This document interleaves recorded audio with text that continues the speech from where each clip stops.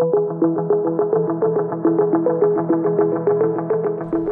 guys, my name's Wes from Health 101. Today we're going to be talking about the rotator cuff muscles.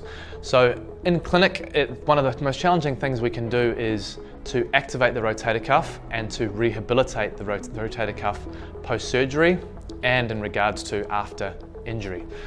So what we're going to look at is how the Compex machine can be used to place onto the rotator cuff to make sure we get full activation of those muscles and to teach the brain how to re, I guess, reform the connection with those muscles after we've had an injury and also how to use them more appropriately while we're exercising.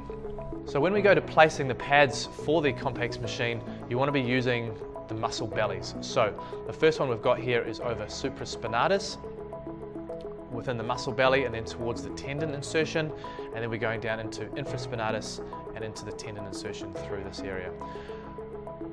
When we activate this muscle, you can use it in all sorts of different positions. So for example, you can come into the traditional movement of external rotation, or uh, as shown earlier, we can actually lift the arm up while we get that activating. So I think if you lift that arm up for me, so it shows that we can get muscle activation while we're actually using the arm.